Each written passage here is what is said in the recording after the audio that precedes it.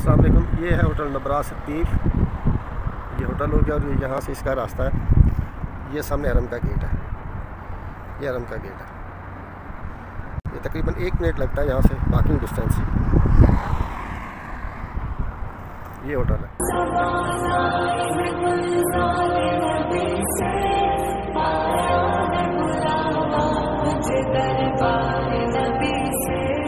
दरबार